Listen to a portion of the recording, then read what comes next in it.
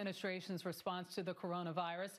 A government scientist who was removed from his job is speaking out and claims he was pushed out for raising alarms about just how poor the U.S. response was to COVID 19. This comes as President Trump refuses to wear a mask and as another White House staffer tests positive for the coronavirus. Nikole Killion is at the White House this morning. Nikole, what's the latest? Well, a lot happening here at the White House. Michelle, the commissioner of the Food and Drug Administration, is now self quarantining after coming into contact with someone who tested positive for COVID 19. The White House says it's testing staffers daily who are in close proximity to the president and vice president, while the president says he thinks the virus will go away even without a vaccine. CBS News has learned the personal assistant of Ivanka Trump is among the latest to test positive for coronavirus. This after the vice president's press secretary, Katie Miller, was diagnosed. She thanked well wishers Friday night, tweeting, I'm doing well and look forward to getting back to work for the American people. She's a wonderful young woman, and today she tested positive. Uh, she hasn't come into contact with me. Miller is the wife of senior presidential advisor Stephen Miller. Earlier this week, a member of the president's personal military valet also tested positive.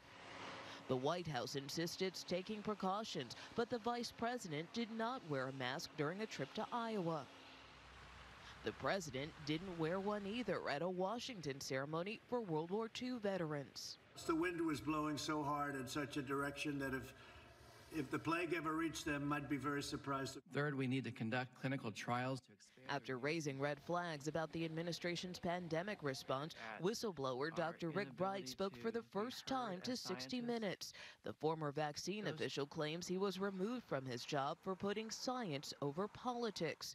Friday, a federal watchdog recommended he be reinstated. I'm the director of BARDA. To take me out of our organization focused on drugs and vaccines and diagnostics in the middle of a pandemic, the worst public health crisis that our country has faced in a century, and decapitate the BARDA organization to move me over to a very small, focused project of any scale, of any level of importance, is not responsible.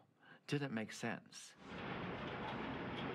This week, the government started shipping remdesivir, but concerns have emerged that the drug cleared for emergency use in COVID patients has been slow to reach some hospitals. Well, right now, I think there's a lot of confusion of, of how to uh, distribute it.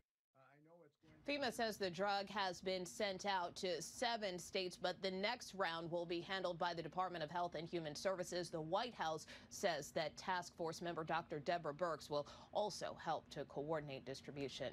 Back to you, Dana. All right, Nikole Killion, thank you. In other news, magician Roy Horn, one half